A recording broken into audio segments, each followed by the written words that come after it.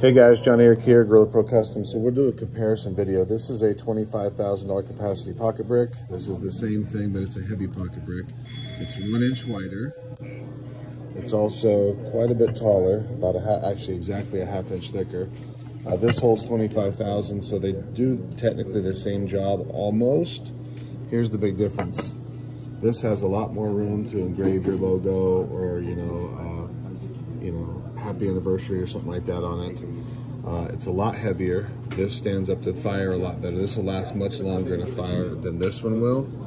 Um, but people don't generally buy these for fire protection, not the fancy ones anyway. So let's go over the weight real quick and show you the difference. So the pocket brick comes in at